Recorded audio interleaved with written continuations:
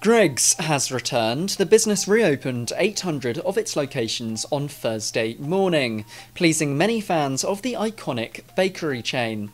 Still, Greggs isn't the first fast food restaurant to reopen its doors. McDonald's, KFC, and Burger King have now all been open for a good few weeks. Much of the nation claimed to be eating healthier and fresher in the midst of lockdown. But will the comeback of fast food put a stop to that positive change?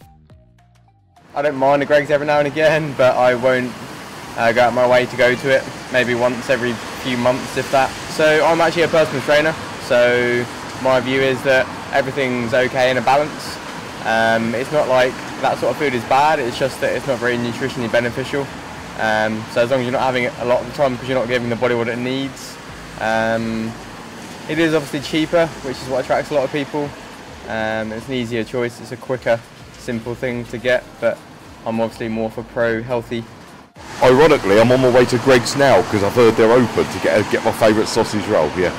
Well, currently living on my own, um, now and again I do enjoy fast food, so the convenience of the fast food restaurants is brilliant for me. Yeah, I think it's a great thing that the economy is getting back to speed and businesses are starting up again. And uh, of course, immunity is a big thing, immunity in the community, something that we're trying to promote as a, a local church and we want people to be healthy. It doesn't stop you getting sick, but it helps you fight back.